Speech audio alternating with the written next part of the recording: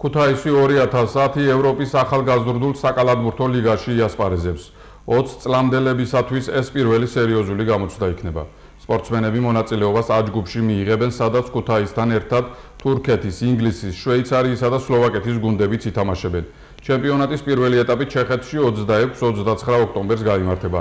მეორე ეტაპს კი სლოვაკეთი 11-14 იანვარს უმასპინძლებს. პირველად იქნება, როდესაც ქუთაისის ახალგაზრდულ გუნდს რეალურად ქუთაისი 2000-ის დუბლები მიიღებენ ევროპის ახალგაზრდულ ჩემპიონატში მონაწილეობას. ეს ძალიან დიდი გამოწვევაა ჩვენთვის როგორც კლუბისთვის და იმ ბიჭებისთვის, რომელიც ამ კლუბის ღირსებას იცავენ. ვარჯიშები ჩავატარეთ, მოემზადეთ, ძალიან დიდი გამოცდილება გველის წინ, როგორც გითხარით, საკმაოდ სერიოზული გუნდები გველოდება. ეს პირველი იქნება ჩვენთვის როგორც მწვრთნელისთვის მოთამაშეებისთვის და ვფიქრობ, რომ ამ გამოწვევას ღირსეულად შევხვდებით. მივდივართ გამარჯვებისთვის, რა თქმა უნდა.